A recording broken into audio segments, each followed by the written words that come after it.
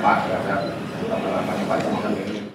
Dalam kesempatan ini, penjabat Bupati Oku, Kepala Kejaksaan Negeri Oku, Kepala Bapenda Oku melakukan penyerahan tapping box wajib pajak secara langsung terhadap rumah makan dan resto di Kota Batu Raja.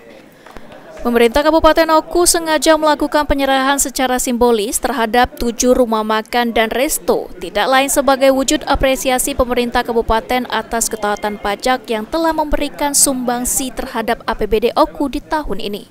PJ Bupati Oku Muhammad Iqbal Ali Syabana mengungkapkan apresiasi dan penghargaan sebesarnya terhadap tujuh rumah makan dan resto yang telah membayar pajak.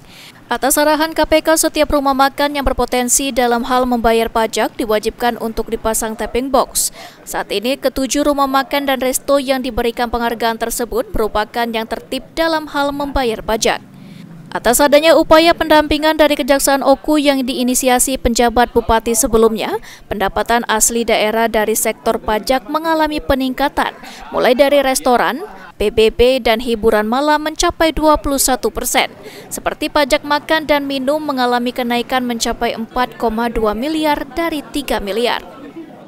Ini kami sengaja bersama Pak Kajari dan juga Pak Kacap eh, Bang Sumsel dan Kadis Perla memberikan apresiasi dan penghargaan kepada rumah makan yang sudah patuh membayar pajak dan alhamdulillah kita memberikan hari ini memberikan tujuh tujuh tempat makan yang sudah uh, melakukan pembayaran pajak dan sudah patuh dalam hal membayar pajak. Alhamdulillah sejak uh, tahun ini kami sudah ada pendampingan sebagai implementasi dari MUU Perdata. Kita sudah turut ambil bagian, ambil peran untuk optimalisasi pendapatan daerah. Karena kawan-kawan ketahui ini kan harus kita jaga betul. Kemampuan keuangan daerah salah satunya adalah berasal dari pendapatan asli daerah. Dari tiga yang sebenarnya seluruh PAD ya, terutama pajak, tiga yang kita kerjasamakan yaitu dari kemarin PBB, kemudian ya. restoran ya. dan hiburan, hiburan itu malam.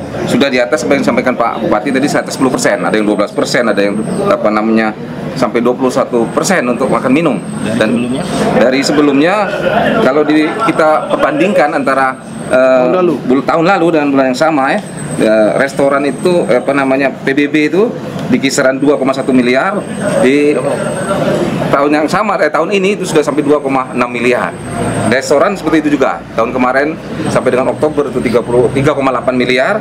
Nah di Oktober posisi ini sudah 4,2 miliar. Gitu ya. Juga uh, hiburan. Hiburan dari 567 di tahun kemarin dan sekarang sudah 660 miliar. Ari Prani Kapal TV